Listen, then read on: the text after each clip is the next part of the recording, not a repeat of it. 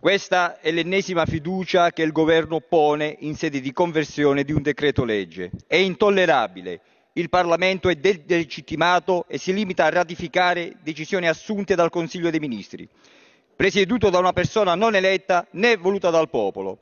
Nel suo discorso di reinsediamento il Capo dello Stato aveva sottolineato l'esigenza di recuperare il ruolo del Parlamento nell'assunzione delle decisioni la maggioranza aveva applaudito, fingendo di non capire il significato di quel richiamo del presidente Mattarella. Da allora invece c'è stata una nuova escalation di ripudio della funzione parlamentare da parte del presidente Draghi e della sua maggioranza timorosa, obbediente, rinunciataria e supina. Abbiamo assistito ad una censura costante delle due Camere. Addirittura il governo è arrivato a mandare armi all'estero in virtù di una risoluzione approvata dal Parlamento senza più precisare e riferire alcunché in merito alla guerra in Ucraina, alle scelte compiute e alla linea stabilita.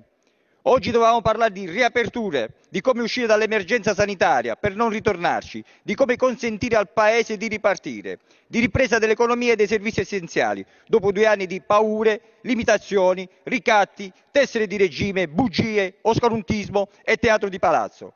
Ancora una volta invece il confronto di merito è cancellato, le minoranze sono calpestate e il governo aspetta soltanto il rituale del voto di maggioranza, assicurato dal diffuso desiderio di poltrone e riconferme che serpeggia in Parlamento.